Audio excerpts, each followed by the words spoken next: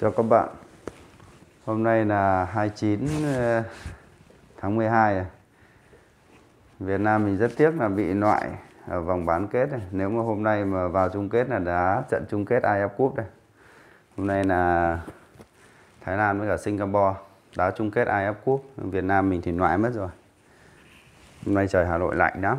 Bộ Dung hôm nay phải mặc áo len ở trong, mặc áo blue ra ngoài vừa bốc thuốc bổ thận tráng dương vừa chia sẻ với mọi người. Cái bệnh nhân này bị thận yếu đau lưng mỏi gối thoát vị đế đệm hôm nay mà Việt Nam mình vào chung kết xem thì thích quá nhưng mà loại mất rồi. À, cái bệnh nhân này thì là 40 tuổi mà bị thoát vị đế đệm thận yếu đau lưng mỏi gối xương khớp nục cục kêu suốt ngày. Thế là điện vào nhờ thầy cắt cho. Đây Vũ Dũng cân hết ra rồi. Giờ chỉ việc chia thôi học trò cân từng vị một cho vào túi to này. Xong bây giờ là Vũ Dũng chia ra bốc 20 thang. Để cho các bạn xem.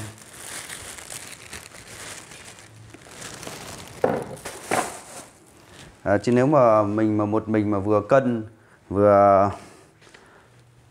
vừa cân mà vừa bốc thì sẽ rất lâu đấy cho nên là à, học trò cân sẵn ra cho thầy thầy chỉ việc cắt cho gần vào đây cho mọi người xem. Đây không xa quá. Đó 20 thang. Thì à, mọi người sẽ nhìn nó dễ hơn. Đây vừa đúng hạ cam này nó thấp rồi. Nhìn thấy thuốc chưa? Đấy. đợt này thì à, Vũ Dũng không nhận châm cứu bấm huyệt nữa, mà chỉ có cắt thuốc thôi. Vì đợt này dịch nó diễn biến phức tạp, nó có biến chủng mới, sợ lắm. Thế nên là đợt này chủ yếu cắt thuốc thôi.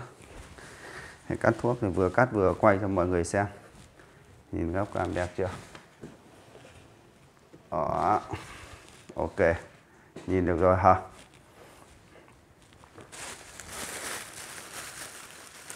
À, nhiều người bảo sao không thấy Vũ Dũng mặc áo bác sĩ này? Bảo thật ra là cái áo cái áo bác sĩ này thì là các bác sĩ Tây y ý, thì ờ, các bác sĩ hay mặc hơn là vì là các bác sĩ Tây y thì chủ yếu là khám khám bệnh và kê toa thuốc mới làm các cái thủ thuật ờ, nó nhẹ nhàng hơn. Chứ còn đông y thì khác. Đông y so bóp bấm hiểu huyệt vật lý trên điệu tác động cuộc sống ấy. Mà mặc những cái áo này, mùa đông mặc thì ấm, nhưng mà mùa hè nóng, khó chịu lắm.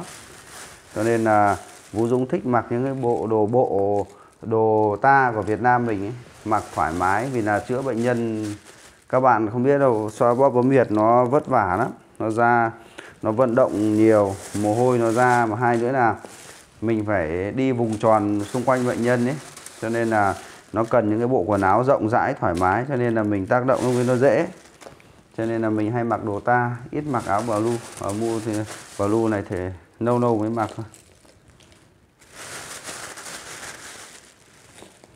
Còn các bác sĩ tây y thì các bác sĩ ờ, đến khám thì các bác sĩ đo huyết áp kê đơn bách mà kê đơn bằng máy tính thì nó đơn giản hơn.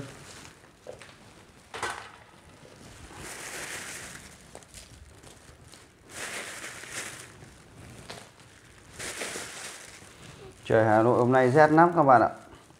Ở trên uh, Sapa là có tuyết rơi đấy. Hiếm lắm mới có đợt tuyết rơi đấy.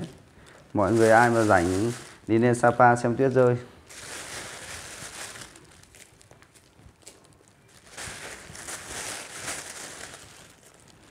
Thế mới thấy Việt Nam mình khí hậu tuyệt vời nhỉ?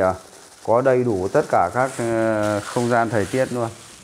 Miền Bắc thì là có bốn mùa xuân hạ thu đông này. Còn trên ờ, đỉnh Mẫu Sơn Phan Xipang thì có tuyết rơi và có có chỗ cũng đóng băng. Đấy.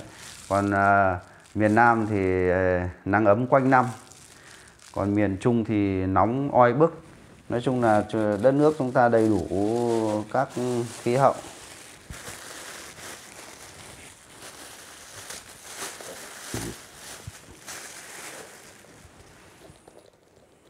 Cái bệnh nhân này ờ, cách đây 5 năm, bệnh nhân cũng bị thoát vị đế đệm. Xong là đến Vũ Dũng thì châm cứu bấm huyệt cho 7 ngày. Thế khỏi.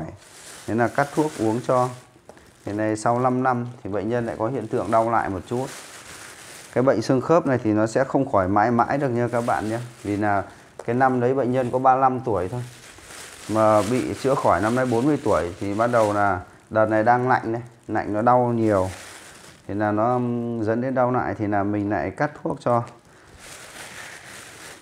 Đợt này là cuối năm rồi cho nên là cắt cho bệnh nhân 20 thang uống 20 ngày thế nên là chắc là đến Tết là ăn Tết là ngon. Vì là Vũ Dũng cũng sắp nghỉ Tết rồi. Cho nên là bảo thôi, chứ mọi lần thì ở gần thôi.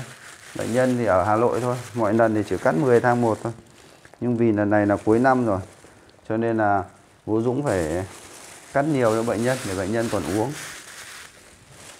Hôm nay là 29 tháng 12 năm 2021 rồi. Còn có hai ngày nữa là còn có hai ngày nữa là sang năm 2022 rồi. Cho nên là Vũ Dũng cắt thuốc để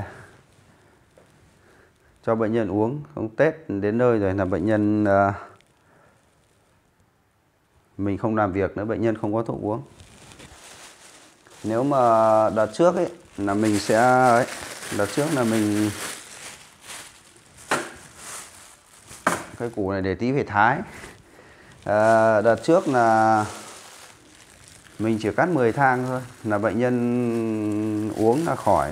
Nhưng mà vì 10 thang khỏi thì phải kết hợp cả tác động cuộc sống và bấm huyệt. Nhưng bữa nay dịch nó phức tạp cho nên là Vũ Dũng không nhận uh, bấm huyệt nữa. Cho nên là Vũ Dũng chỉ có ấy thôi. Vũ Dũng chỉ có cắt thuốc thôi chứ không không không nhận châm cứu bấm huyệt nữa. Cho nên là bệnh nhân phải uống nhiều hơn ví dụ như là nếu mà có châm cứu bấm huyệt tác động cuộc sống thì bệnh nhân chỉ uống 10 thang là khỏi nhưng mà đây không có châm cứu bấm huyệt tác động cuộc sống thì bệnh nhân phải uống 20 thang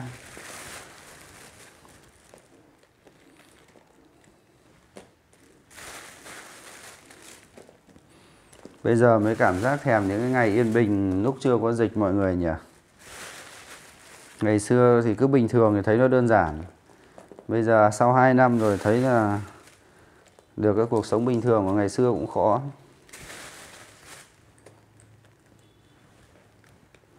Năm nay Vũ Dũng làm việc là được khoảng 5 tháng thôi. Nếu mà cắt thuốc thì vẫn cắt Cắt thuốc thì cũng chỉ được khoảng 8 tháng thôi, nghỉ mất 4 tháng hẳn không cắt thuốc. Cái đợt đợt Hà Nội giãn cách xã hội là mình nghỉ luôn, nghỉ trước đấy. Nghỉ trước đấy đã nghỉ gần một tháng rồi, sau là bốn cái chỉ thị 16 nữa. Thế là nghỉ xong này cái đợt à, cái đợt đầu năm, đúng rồi. Cái đợt đầu năm thì nó rơi vào Tết âm của mình ấy, cái đợt đấy Hải Dương ấy, đợt Hải Dương bị là mình cũng đã nghỉ rồi. Nói chung cái năm 2021 này thì một cái năm nó làm cho thế giới suy sụp, khủng hoảng vì dịch bệnh. Hy vọng là sang năm 22 thì sẽ tiến triển tốt hơn.